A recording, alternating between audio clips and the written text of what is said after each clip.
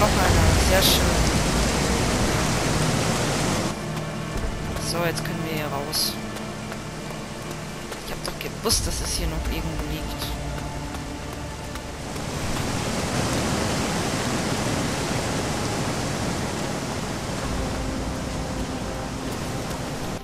Ach, haben wir schon ziemlich... Wir haben echt schon ziemlich viel Ruhm eingesackt, ey.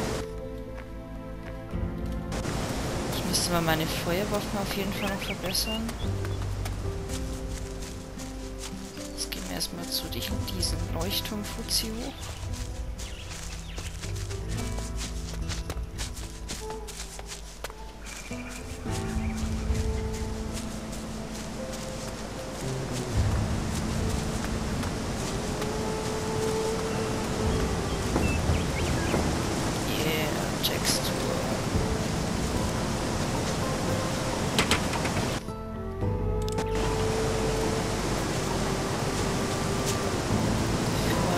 Jetzt sieht, schleiche ich hier mal in Ruhe rein.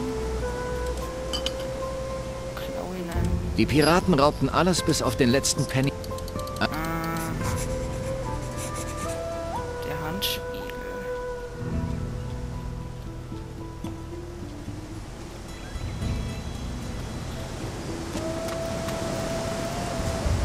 Hi, Jack. Ahoi, Junge. Lässt du dir den Wind um die Nase wehen?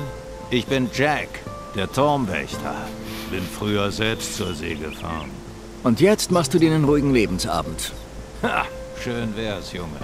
Ruhig ist hier gar nichts mehr. Nicht seit die Termiten hier aufgekreuzt sind. Die Termiten? habe.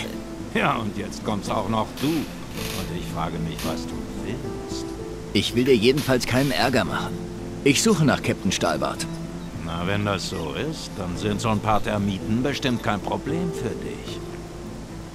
Wegen der Termiten. Wegen der Termiten. Ja, die Mistviecher lassen mich einfach nicht in Ruhe. Hier muss irgendwo ein Nest sein. Ich habe das Termitennest erledigt. Da bin ich dir aber dankbar, Junge. Wie dankbar genau. Ja, ja, schon gut. Der alte Jack braucht ja kein Gold. Noch was. Falls du es noch nicht gesehen hast, da liegt ein Buch in meinem Turm. Könnte dich interessieren. Du kennst bestimmt viele Du kennst Geschichten. bestimmt viele Geschichten. Natürlich. Und sie sind alle wahr. Erzähl mir mal Erzähl was. mir mal was Ähm, von Takarigua. von Takarigua.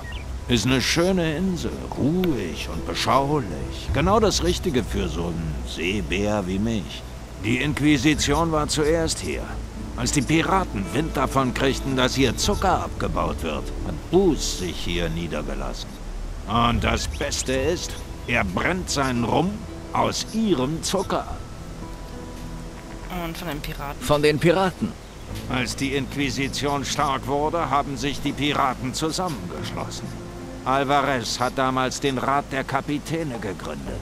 Seitdem nennen sie ihn den Admiral. Aber irgendwas muss passiert sein, denn jetzt gibt es Krieg unter den Piraten. Ein Kapitän kämpft gegen den anderen. Was ist da los? Junge, frag mich nicht. Ich bin zu alt für Krieg. Ich bin froh, wenn ich meine Ruhe habe. Und überschätze. Überschätze. Geschichten über Schätze wirst du so einige hören, wenn du aufmerksam bist.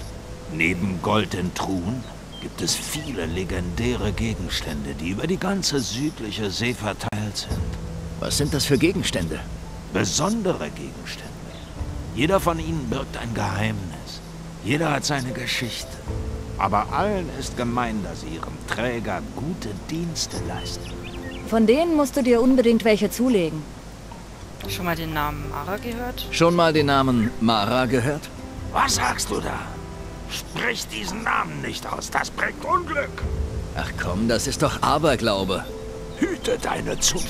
Es gibt sie, die Wesen aus der Tiefe. Sie werden angelockt von denen, die ihren Namen rufen. Was weißt du darüber? Schluss jetzt! Darüber spreche ich nicht. Und du solltest das auch nicht. Jetzt habe ich endlich Ruhe. Alles klärchen.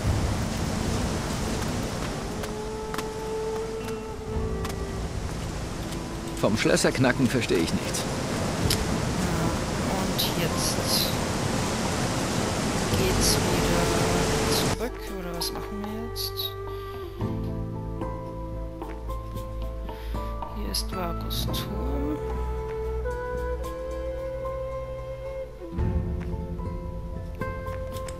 Ich gehe jetzt mal nach Puerto Rico.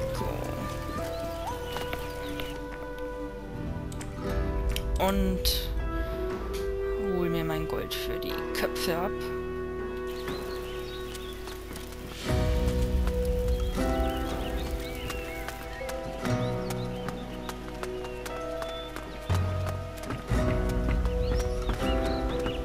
Guten Tag, die Fugo.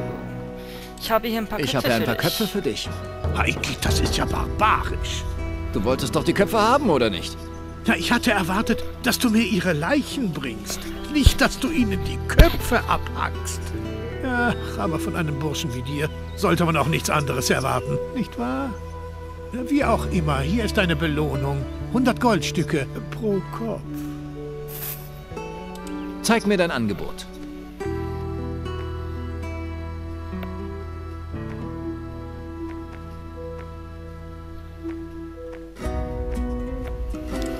Verkaufe jetzt erstmal meine Machete, die zwei Sperre, das hier, den Glücksbringer.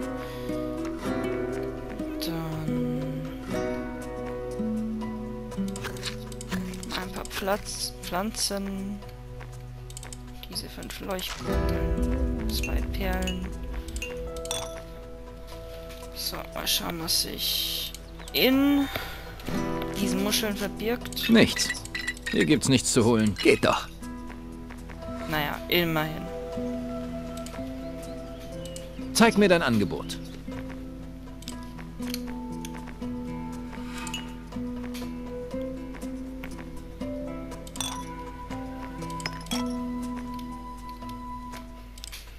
Hm, was kann ich kaufen? Ich könnte mir vielleicht neue Schuhe kaufen.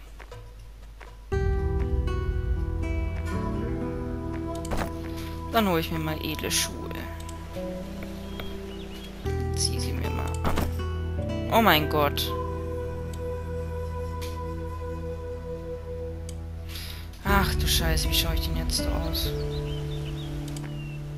Naja, Zeig mir dein nicht Angebot. alles für eine gute Ausrüstung.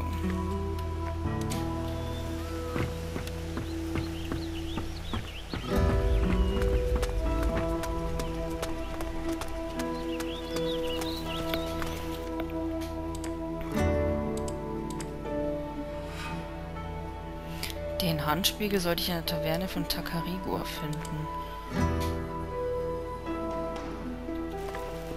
Weststrand Antiguas? Aber wir sind nicht in Antigua. Taverne von Takarigua. Hm.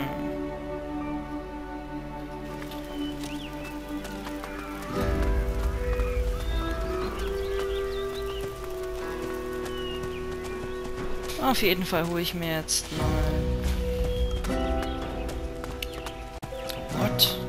Das sind, glaube ich, die Sklaven da oben.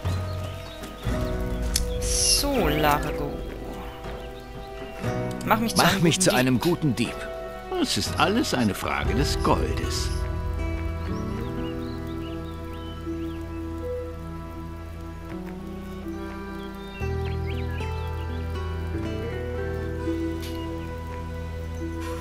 Hast du Tipps für Anfänger? Dafür bin ich nicht gut genug. So gut bin ich auch nicht.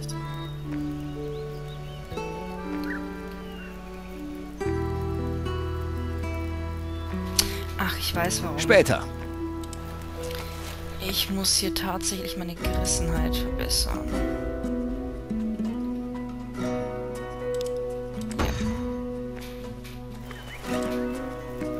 Mach mich zu einem guten Dieb. Es ist alles eine Frage des Goldes. Hast du ein paar Tipps für Anfänger? Wenn einer sieht, wie du was klaust, wird er dich in der Regel direkt angreifen. Manche Typen sind aber auch Weicheier. Die sagen vielleicht was, machen aber nichts. Die meisten Frauen sind auch so drauf.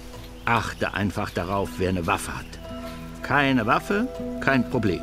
Kapiert? Liebeskunst 1. Juhu.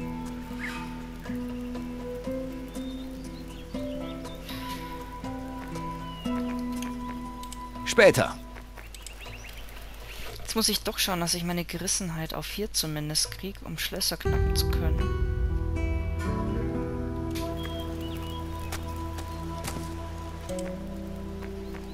Zeig mir die Sachen.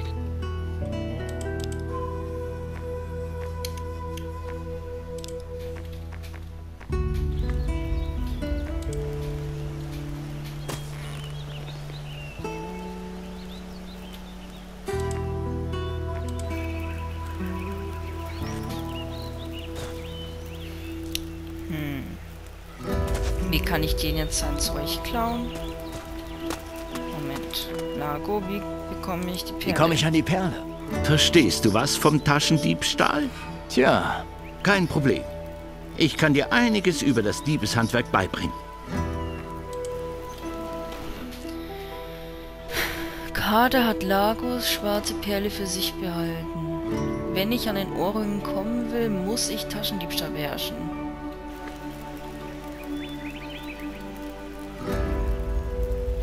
Heißt, ich brauche noch ein bisschen Gold. So wie es aussieht. Ich gehe jetzt mal zum Piratennest.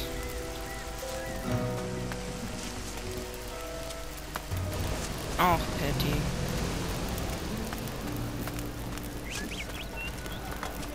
Was? Ich glaube, das ist jetzt ein Grafikfehler. Ah. Hi, Buß. Ich bringe dir die Zuckerlieferung. ich bringe dir die Zuckerlieferung. Was war das Problem? Termiten. Große, böse Termiten. Junge, du bist zu gebrauchen. Bring das Zeug gleich zu Alistair. Der wird sich freuen. Ähm, Ach so. Danach kommst du wieder runter. Dann stoßen wir an und du kriegst deinen Sack Gold. Sehr schön. Und die Sache mit die Fiego ist erledigt. die Sache mit Di Fuego ist erledigt. Zu welchem Preis? Spielt das eine Rolle? Hast bei Petro abkassiert, den alten Sack runtergehandelt und den Rest für dich behalten? In dem Fall hast du deine Belohnung ja schon eingestrichen. Aber ich habe heute meinen großzügigen Tag. Hier, nimm fünf Flaschen vom besten Tacarigua rum. Hat der aufgeblasene Sack noch was gesagt? Er sagte, ihr sollt aufhören, seinen Zucker zu klauen. Er sagte, ihr sollt aufhören, seinen Zucker zu klauen. Ha! Genauso gut könnte er einem Gnom sagen, er soll keine Sachen mehr sammeln. Wir machen natürlich weiter. Petro wird in Zukunft bestimmt vorsichtiger sein. Prost! Leute, unser Nachschub ist gesichert. Die nächste Runde geht auf mich. So, jetzt gehen wir mal zu Alistair.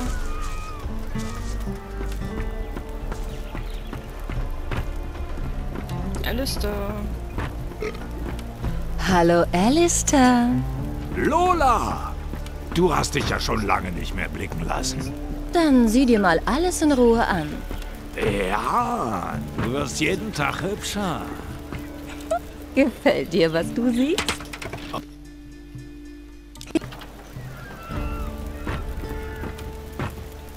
Alistair. Ich bringe neuen Zucker. Ich bringe neuen Zucker. Musst du ausgerechnet jetzt damit ankommen? Ach, naja, immerhin. Der Zucker ist wichtig für uns. Jetzt können wir wieder brennen. Und noch was. Du hast uns zwar den Zucker gebracht, aber das heißt nicht, dass du machen kannst, was du willst. Du darfst hier oben sein. Aber geh nicht ins Zimmer von Buß. Erwische ich dich da drin, gibt's einen Satz heiße Ohren. Ja, ja, wie genau wird rumgebrannt? Wie genau wird rumgebrannt? Das will jeder wissen. Und viele haben's probiert. Es war die Zeit der explodierenden Kessel. Seitdem sind wir vorsichtiger geworden. Nur wenn du wirklich bereit bist, kannst du unser Handwerk lernen. Woran merke ich, dass ich bereit bin? Wenn du dich von tausend Goldstücken trennst, dann bist du wirklich bereit. Genieß es.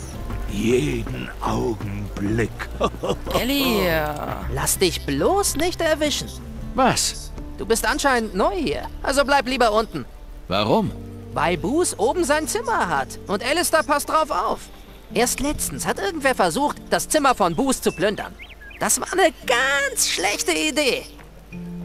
Was machst du hier? Was machst du hier? Ich bin Elia. Ich brenne Schnaps. Kennst du Rezepte? Klar. Natürlich nicht alle. Momentan versuche ich mich an Bloody Mary. Das ist harter Stoff. Welchen Effekt hat Bloody Mary? Wenn du am Boden bist, gibt's nichts Besseres. Das Zeug baut dich wieder auf. Lass es einfach wirken. Kann ich einen haben? Geh zu Boos. Kannst du mir das Bloody Mary Rezept besorgen? Die wichtigste Zutat ist die Blutwurzel. Wenn du mir zehn davon bringst, kriegst du das Rezept. Na toll. Ich bring dir die Wurzeln und dann stehe ich mit leeren Händen da. Hey, nichts ist umsonst. Aber du musst nicht alles sammeln. Ich habe meine Quellen. Ne? Woher kriegst du die Wurzeln? Ich habe da einen Deal mit Colby laufen. Einer von den Wasserträgern. Er besorgt mir Blutwurzeln und ich lass dafür rumspringen. Aber er hat sich schon länger nicht mehr sehen lassen. Er hält jetzt Wache am Tor. Ach so, du kannst ihn ja mal fragen. Vielleicht hat er ja noch welche für dich.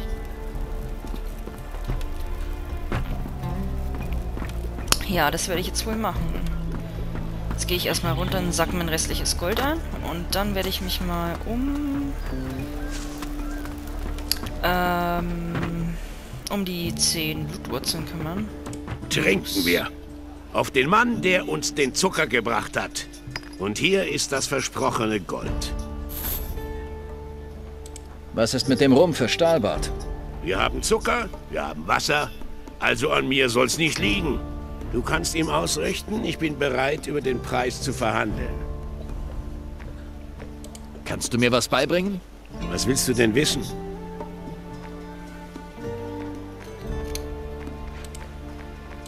Ich brauche mehr Rum. Natürlich.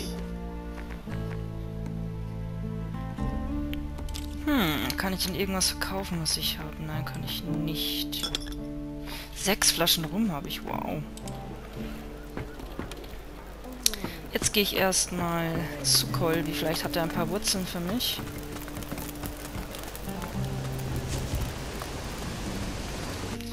Dann gehe ich mal kurz ans große Tor. Hey Colby. Ich hörte, du sammelst Blutwurzeln. Ich hörte, du sammelst Blutwurzeln. Jetzt nicht mehr. Hast du welche? Für gewöhnlich lasse ich mir die mit Rum bezahlen. Drei Wurzeln für eine Flasche. Ich gebe sie aber nur alle auf einmal raus. Hier. Prost. Mehr habe ich nicht. Jetzt musst du wieder selber pflücken. Also jetzt brauche ich nur noch eine einzige Blutwurzel und dann habe ich schon alle zusammen.